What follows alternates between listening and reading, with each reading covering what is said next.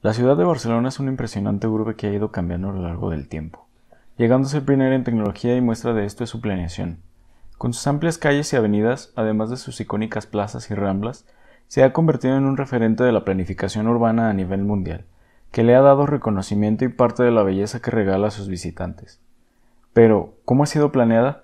¿Quién ha sido el cerebro detrás de ello? Y a todo esto, ¿por qué tan cuadrada? En este video responderemos a estas preguntas, así que si te interesa quédate. No sin antes suscribirte para más videos como este. Esto es Urbanópolis y bienvenidos.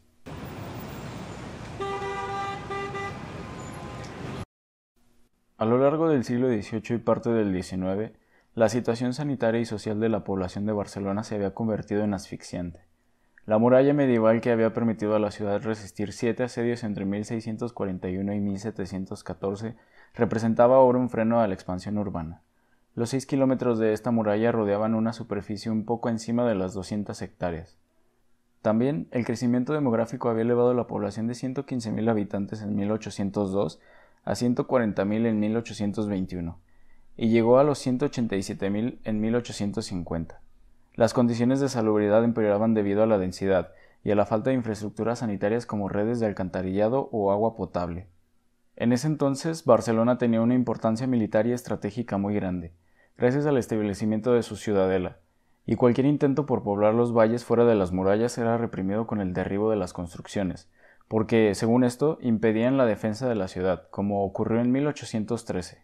Es así como en 1841 el Ayuntamiento de Barcelona convocó a un concurso para desarrollar la ciudad fuera de las murallas, eligiendo el 9 de septiembre el trabajo propuesto por Pedro Felipe Monló, en este trabajo el médico proponía en su escrito expandir la ciudad entre el río Llobregat y el Besós, argumentando que contribuiría al desarrollo industrial de la ciudad de Barcelona. Pero no fue hasta 1854 cuando se dio la orden de derribar las murallas, aunque la orden dictaba mantener la muralla del mar, el castillo de Montjuic y la ciudadela. Sin embargo, este era el preludio de lo que ocurriría años después con la ciudad de Barcelona.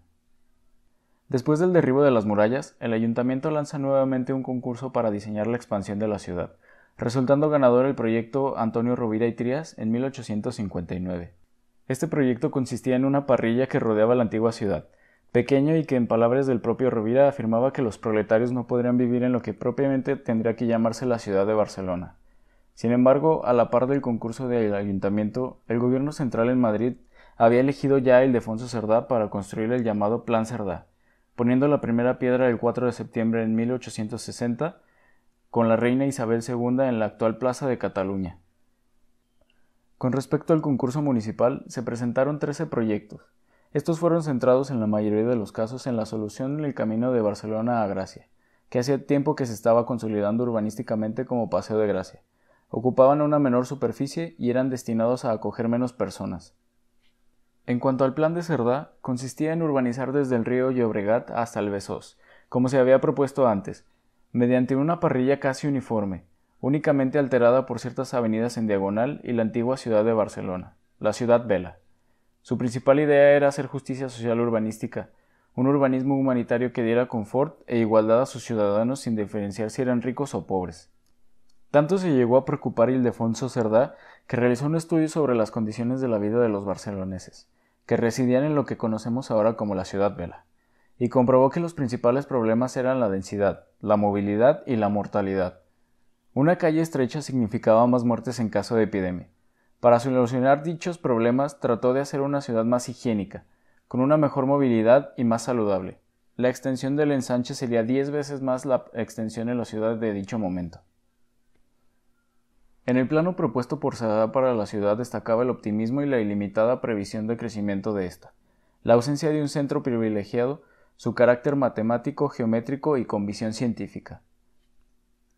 Este urbanista asignó un papel clave a los parques y jardines interiores de las manzanas, aunque la posterior especulación alteró mucho este plan. Entre las principales novedades también destacaban las manzanas octogonales que incorporaban los chaflanes para facilitar la circulación y la orientación de estas el cual permite que todas las viviendas, sin excepción, reciben el sol, la luz natural y la ventilación como pedían los movimientos higienistas en ese momento. Además de estos aspectos higienistas, a Cerdá le preocupó la movilidad. De hecho, fue pionera en este tema. Definió una anchura de calles nunca vista, en parte para huir de la inhumana densidad que vivía la ciudad, pero también pensando en un futuro motorizado con unos espacios propios separados de los de la convivencia social que lo reservaba por zonas interiores. Lo que aún hoy continúa sorprendiendo es la capacidad de Cerdá para prever el protagonismo de los medios de transporte en el trazado de la ciudad, un factor que ha permitido que Barcelona haya podido adoptar los cambios profundos que los tiempos habrían de traer, como si en realidad los hubiese estado esperando desde hace 160 años. La cuadrícula hipodámica de Cerdá preveía calles de 20, 30 y 60 metros de anchura. Este es uno de los aspectos fundamentales del ensanche de Barcelona, donde hoy nos podemos plantear la introducción de carriles bus, carriles bici y vías verdes porque el criterio con el que se diseñaron las calles fue en el principio la independencia de los diferentes modos de transporte. Las manzanas por su parte tenían construcción solo en dos de los cuatro lados, para lo cual daba una densidad de 800.000 personas en el proyecto completo. Cerdá así concibió dos formas básicas para situar los edificios. Una presentaba dos bloques paralelos situados en ambos lados opuestos, dejando en su interior un gran espacio rectangular destinado a un jardín, y la otra presentaba dos bloques unidos en forma de L, situados a dos lados contiguos de la manzana, quedando en el resto un gran espacio cuadrado que también era destinado a un jardín. La sucesión de manzanas del primer tipo daba como resultado un gran jardín longitudinal que atravesaba las calles, y la agrupación de cuatro manzanas del segundo tipo, convenientemente dispuestas, formaban un gran cuadrado edificado atravesado por dos calles perpendiculares, y con sus cuatro jardines unidos en uno. Así, con el diseño original, el ensanche se habría ocupado totalmente hacia 1900. Si bien tanto el propio Cerdá como posteriormente algunas acciones especuladoras lo densificaron sustancialmente, aunque lo que sí se mantuvo fue la profundidad de 28 metros de los edificios. Este tipo de desarrollo fue denominado por él mismo como el ensanche ilimitado, una cuadrícula regular e imperturbable a lo largo del trazado urbano. A diferencia de otras propuestas que rompían su ritmo repetitivo para meter espacios verdes o servicios, la propuesta de Cerdá los englobó internamente y permitió fijar una repetición continua en el plan con capacidad de alterarlo cuando conveniera. Este es el resultado del por qué Barcelona está tan cuadrada.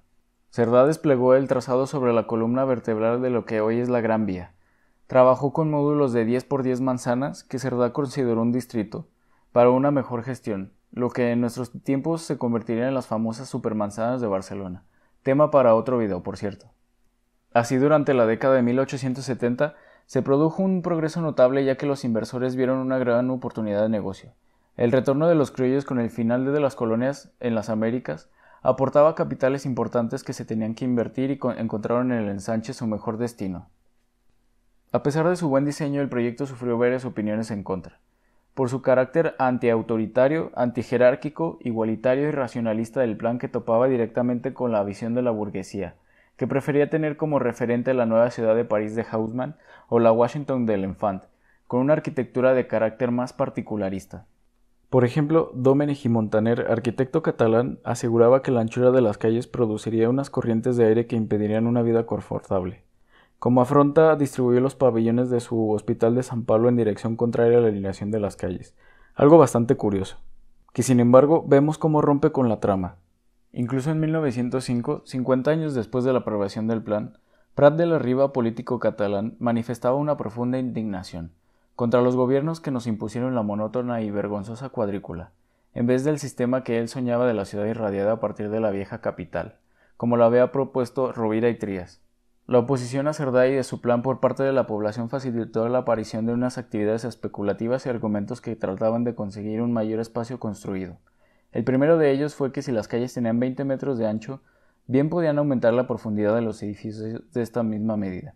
Se ocupó posteriormente la zona central de las manzanas con edificaciones bajas, destinadas en la mayoría de los casos a talleres y pequeñas industrias familiares, desapareciendo con eso la mayor parte de los jardines centrales con lo cual como último recurso para aumentar el suelo construido, se unieron los dos laterales, ya construidos con los edificios que los unían y cerrando por completo la manzana. Parecía que en este punto finalizaba el proceso especulativo, pero apareció un nuevo argumento. Si las calles tenían 20 metros de ancho, no tendrían que haber inconvenientes en que los edificios tuvieran una altura de los mismos 20, en lugar de los 16 metros proyectados, ya que el aumento de altura, estando al suelo en 45 grados, ilumina cualquier edificio en su totalidad sin que ningún edificio vecino le hiciera sombra. Este argumento unido a la construcción de techos más bajos dio como resultado que se ganaron dos pisos de altura. Estas transformaciones posteriores dieron la forma a lo que Barcelona es hoy en día. Es de destacar que el ensanche se ha construido de una forma precaria pero consistente, en la que los propietarios han pagado la reparcelación y la cesión de terrenos, así como una primera urbanización, y la definición de la sección de la acera y la introducción del arbolado. De esta manera, hablar del ensanche es marcar un antes y un después en la historia de la ciudad. La planificación urbana ha influenciado bastante en cómo se ha desarrollado Barcelona, convirtiéndola en un referente mundial en este tema y sobre todo en los temas de movilidad, espacio público y por supuesto arquitectura. El resultado ha sido una ciudad compacta, compleja y diversa, referente actual en los modelos de ciudades sostenibles. Ahora bien, ¿te imaginas a Barcelona bajo la visión de los otros proyectos? ¿Qué mejoras harías al ensanche? Comenta lo que quieras y recuerda dejar tu like y suscribirte si te ha gustado este video. Hasta la próxima.